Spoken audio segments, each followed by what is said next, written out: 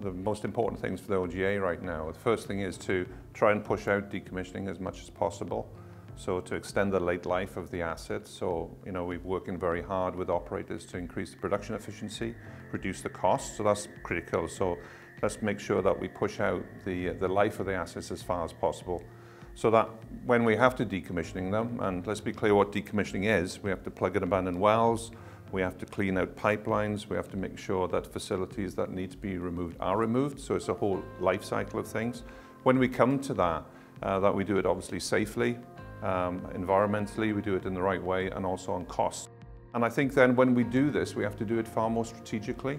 So rather than ad hoc decommissioning in different places, what we'd like to do is to work with the industry so they can work in a collaborative way so we can do it in a far more strategic way rather than sort of piecemeal and ad hoc.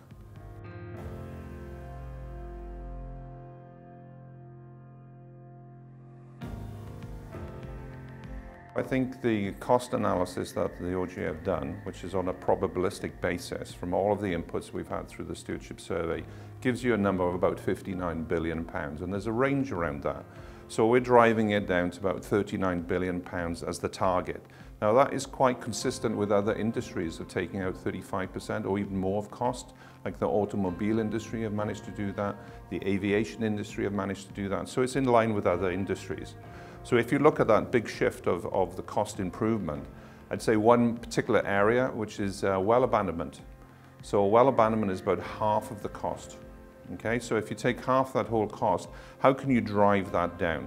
A part of that right now is to work with the supply chain to look at how can we have better contracting strategies between operators and the supply chain. There's new companies that are being set up to try and do one-stop shop, for instance, which will cut down costs. The other way is through technology. And then I think the third way would be to try and, again, get the operators to work together in a sort of a club, to collaborate, to work together in a multi-operator well abandonment campaign. So we're working with a number of operators right now to try and pull everything into, into one piece of work so that can be done far more efficiently, far more effectively and quicker.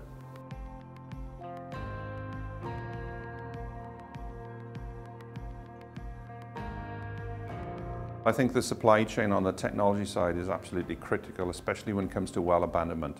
You know, a lot of decommissioning is actually quite simple technology, it's just remove something. But when it comes to well abandonment, technology is very, very important indeed. So I think the supply chain and technology on the well abandonment side is critical.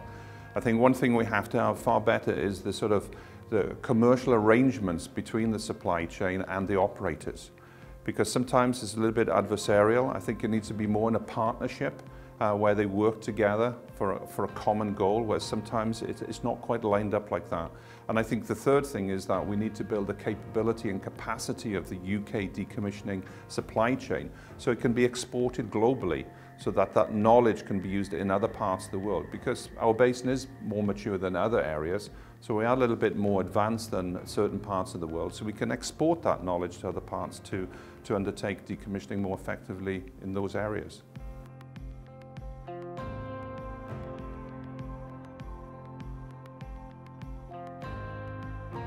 So I think if you look at collaboration and you talk about where is the industry, I think it really is collaborating. Uh, I think there are not that many barriers, in fact, and you have the uh, trade associations like Decom North Sea, um, they get together with the supply chain and work with the operators. Um, I'm involved with the Decommissioning Task Force, which is a forum between industry members and OGA, where we look at particular initiatives and how we collaborate together there's a great sharing of examples you know, that, that are out there as well. So people share their examples at conferences. What we want to do in OGA is to, is to sort of uh, try and focus that and synchronize that a little bit more and, and, pull it together because it's all out there. So we just sort of put our arms around it and try and pull that all together in an in a even more strategic way of collaboration.